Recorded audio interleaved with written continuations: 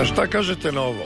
Pivnica, kako piše ovdje, iz 1499. iz 15. stoljeća. V fleku.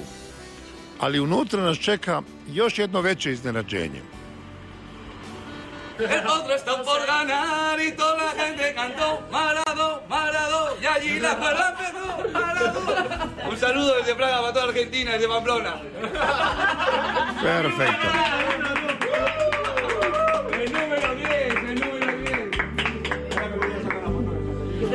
A sad nakon ovih španjolaca koji pjevaju argentinski, jedna hrvatska priča. Ovdje je godine 1911. osnovan hrvatski nogometni klub Hajduk Split. Hajduk Split. Veleposlanstvo Republike Hrvatske u Češkoj Republici, Hrvatski nogometni klub Hajduk Split. Dakle, Hajduk je Čeh.